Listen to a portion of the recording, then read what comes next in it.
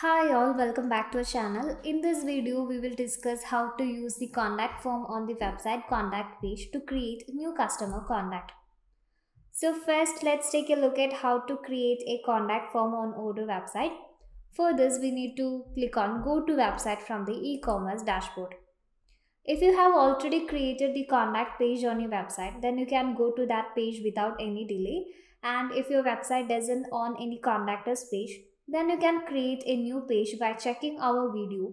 Easy steps to create a contact us page on the website with Odoo 15 from our YouTube channel. After creating the contact us page, you can go to the dynamic content tab of the blogs where we can find the snippet for form. So you can drag the form snippet from the blogs and drop it in the right position on your contact us page. Here the snippet can be edited with the help of the styling tool and you can customize the form by adding or removing the field, changing background color or image and adjusting the width and height of the form.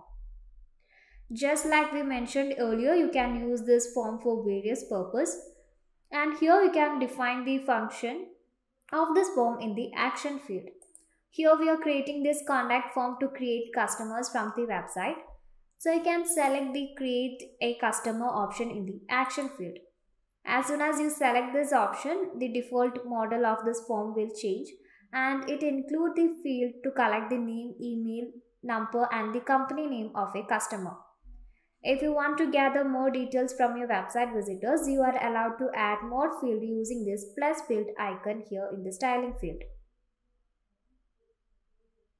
Here in this mark field, you can select the required or optional field to mark and the symbol that specifies the mark field can be mentioned in the mark text.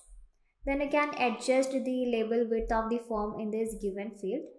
After submitting the form, we can redirect the customer to another page or show a message to them.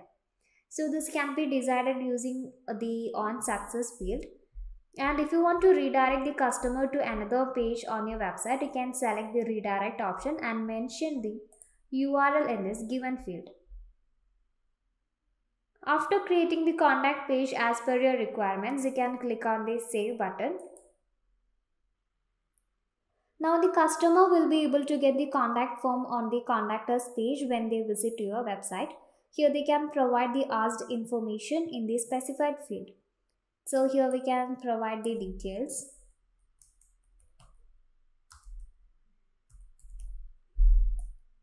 Here we can enter the email ID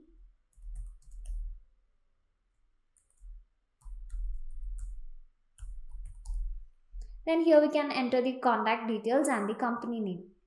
After providing all the details, you can click on the submit button.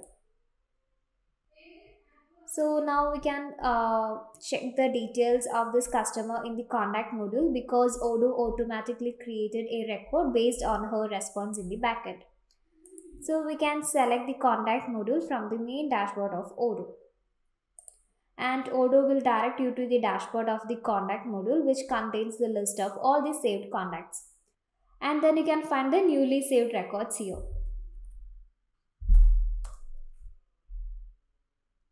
So using this given information you can contact them and you can add more details about the customer in the contact record based on the progress of your business relationship with them. So these contacts will be helpful for marketing programs and with the help of contact form it is possible to collect many such contacts from your website. That's all about the video. Thank you for watching.